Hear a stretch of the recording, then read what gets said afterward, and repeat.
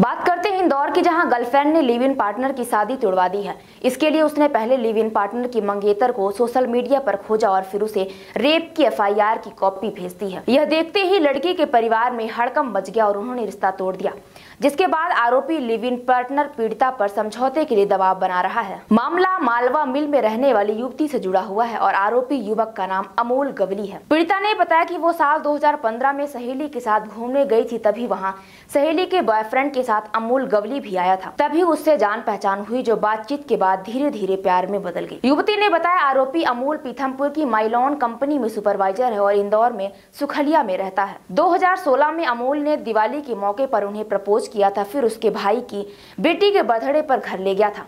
अमोल ने कमरे पर आकर उनसे ज़बरदस्ती संबंध बनाए। उसने शादी का वादा किया।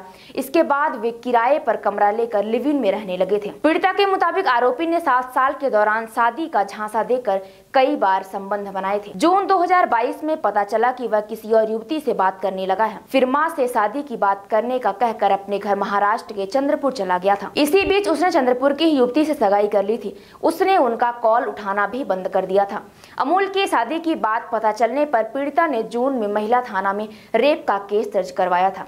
पीड़िता ने पुलिस को बताया कि वह अमूल के साथ पिछले सात साल से लिव इन में रह रही है। अब अमूल शादी करने को तैयार नहीं और महाराष्ट्र की लड़की से रिश्ता तय कर लिया है। पुलिस ने जाँच के बाद अमूल के खिलाफ रेप का केस दर्ज कर लिया, लेकिन उसकी गिरफ्तारी नहीं की। वहीं आरोपी अब पीड़िता को समझौते के लिए परेशान कर रहा है। इंदौर के सी सेक्टर सुखलिया में रहने वाले अमोल गवली की शादी महाराष्ट्र की चंदपुर की युवती से तय हुई थी। 9 जुलाई को दोनों की शादी पूड़ानगर के बालाजी गार्डन में होना था।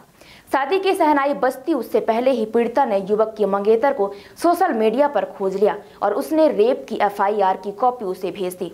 मंगेतर युवती के परिजन ने इंदौर पुलिस से बात की तो पूरे मामले का खुलासा हुआ। इसके बाद उन्होंने रिश्ता तोड़ दिया।